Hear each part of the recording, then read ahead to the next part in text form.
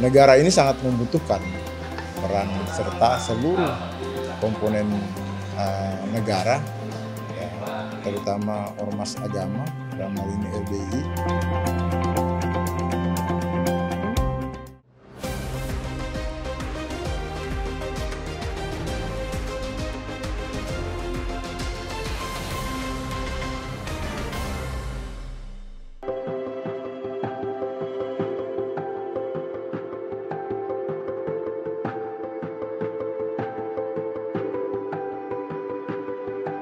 DPP LDI mengunjungi Asisten Teritorial atau Aster Panglima TNI pada Kamis 26 Oktober 2023. Kegiatan tersebut bertempat di Markas Besar Tentara Nasional Indonesia atau TNI di Cilangkap, Jakarta. Pada kesempatan tersebut, Asisten Teritorial Panglima TNI Majen TNI Muhammad Sefei Kasno menegaskan, menjaga stabilitas nasional tidak hanya menjadi tugas TNI saja, namun Ormas Islam juga memiliki peran penting, sehingga stabilitas negara menjadi tanggung jawab seluruh komponen bangsa. Antara rakyat belum ada TNI itu sudah bekerja sama ya. Jadi tidak terlepas, eh, tidak hanya dalam eh, apa menjelang pemilu.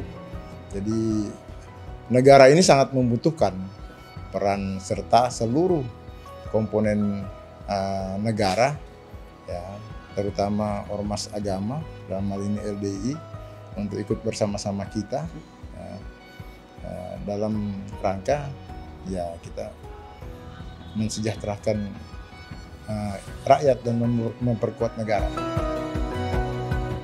Sementara itu, Ketua Umum DPP LDI Kiai Haji Kriswanto Santoso mengatakan, Kunjungan tersebut merupakan salah satu persiapan DPP LDI dalam menyambut Rakernas LDI.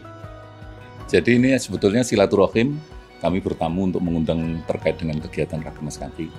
Dan komunikasi seperti ini memang menjadi suatu program dari LDI karena pada hakikatnya tanggung jawab membangun negara ini semua komponen berkewajiban. Semua tanggung jawab semua bertanggung jawab. Akan tetapi ketika itu dilakukan secara terpisah-pisah kan nggak ada artinya gitu maka komunikasi untuk membangun sinergitas supaya ini menjadi sebuah gerakan bersama dalam rangka menyamakan visi persepsi untuk tujuan menuju Indonesia sejahtera. Itu perlu kita komunikasikan seperti ini. Ia menambahkan, kunjungan tersebut menjadi momentum yang baik dalam mempererat kerjasama antar semua komponen bangsa. Menurutnya, TNI memiliki otoritas dalam memfasilitasi serta LDI memiliki kapasitas SDM dan logistik dalam melaksanakan kegiatan.